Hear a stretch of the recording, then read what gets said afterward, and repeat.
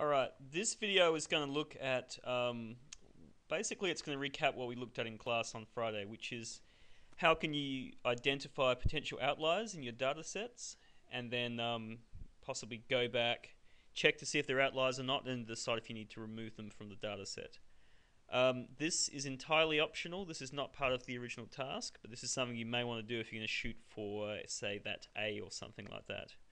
Usually the A's, or at least the higher A levels, A and A plus, are usually reserved for those people who are prepared to go beyond the original task and try something a little bit different. Um, so what I've got here, I've got Juliet's group's data. Um, I've got the graphs. So we're just looking at females here at the moment. Tibia versus height for female and humerus versus height for female. So I'm just going to go through the process of how you'd actually go about identifying outliers. So you remember the rule is, or the process is basically you find these things called residuals, which are the distance in a vertical line between each of those points and the line of best fit. So for instance here, this point, which I believe is an outlier, certainly looks like it's a long way off the rest of the data. The residual for that would be the distance in a straight line that you would go down from that point until you hit the line of best fit like that, like I'm just like I'm describing with my mouse here. Similarly, for something like this point below the line of best fit, the residual would be how far you'd have to go up in a straight line until you hit the line of best fit. Okay, another way of saying that is it's basically the difference between the predicted height, which is described by this line of best fit, and the actual height for that particular bone length. So if I hover my mouse over this one and I think it's an outlier, you'll see it comes up with the coordinates 37, 179. So 37 is the tibia length, and 179 is the height. So what we're saying here is, what's the difference between the residual will be the difference between the predicted height for somebody with a bone length of 37 and the actual height of 179. So the first thing I have to do before I do anything else is actually calculate the predicted height for each of these people. So I'm just going to enter a new column in here called oops, predicted height. I am not going to do this very prettily. I'm just going to do it quickly. So predicted height. Now into here goes the formula, your line of best fit formula. Because remember that we can use that to predict someone's height based on their bone length. So this little formula here, where I'm moving my mouse, y equals 2.4011x plus 77.877, uh, sorry, 887 that's the formula I'm going to use. So into Excel, into the first cell here, I type in equals first, so Excel knows it's a formula. Then I type in 0.24011. Now that's going to be times by x. So I put an asterisk for times, and then the x value is actually this cell here where, where it says 29 for this particular one. So I click in that cell, and then plus 77.887, and then hit enter. Okay, now from there, I want to fill down. So for this one here, I just go to the bottom right hand corner of that cell until I get the little black cross like that and double click. Um, other thing I might do here as well, just so it looks pretty, make sure it's to the nearest whole number because the original height's with the nearest whole number as well. So right click, choose format cells, wait a while, Okay, and then under category you choose number, and where you have decimal places, you click down until you get zero decimal places. Done. Okay, now the residual, spelled like this, R-E-S-I-D-U-A-L. The residual is the actual height subtract the predicted height. So in other words, it's this height cell, take this predicted height here. So I click into the cell here, I type equals to, to, to let Excel know a formula is coming, click in that one, then take that one. Okay, from there, fill down, and there we go, that's our residual. Now if we scroll down here,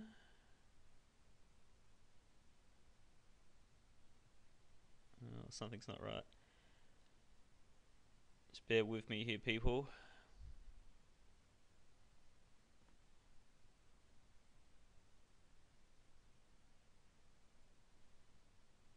Hmm. Something is not right. What have I done wrong?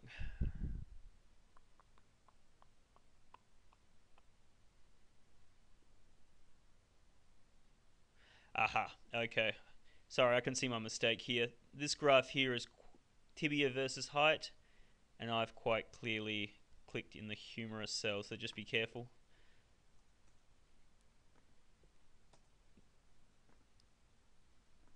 There we go, looks a little bit better.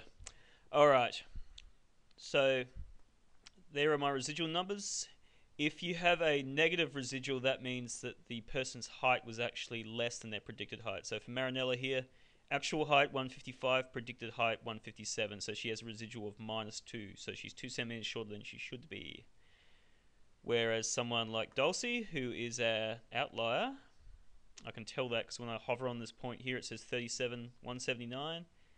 And that's her figures. 37 tibia, 179 height. Dulcie is 12 centimeters taller than she should be, according to just her tibia length. Alright, so now we've got our residual points. Again, you may want to make it a little bit tidier than this, but I'm just plowing through this quickly. Now we have our residual points. The next thing we have to do is work out the standard deviation of all of those numbers added together.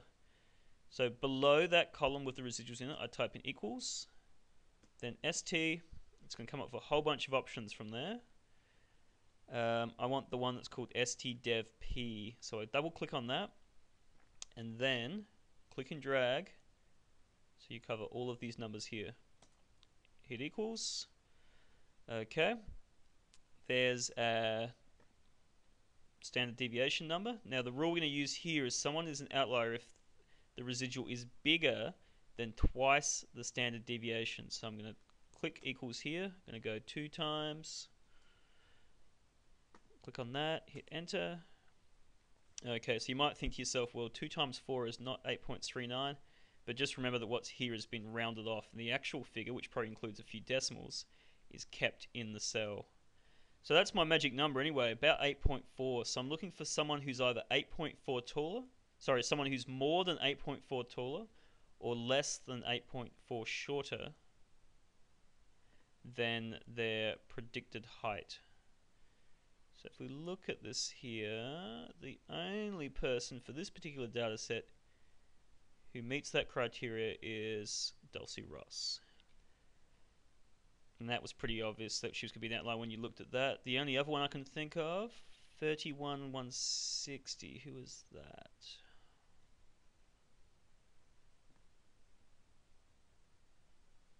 Zainab, but she didn't quite make the cut. She was almost an outlier, but not quite. Okay, so Dulcie's quite obviously an outlier for tibia versus height. Um, probably also would find if you did the same process for the humerus versus height, you'd find that she would be for that too, because that's her there again. Um, so what you would do now, firstly, you'd probably want to go back and just, if you can, if you have time, double check those measurements. So if I was Julie, I'd probably go measure her bone length again, if I could, if I had time, and just see if it's actually was correct or not. She might just be one of those people that has really long body and short arms and short legs. I don't know.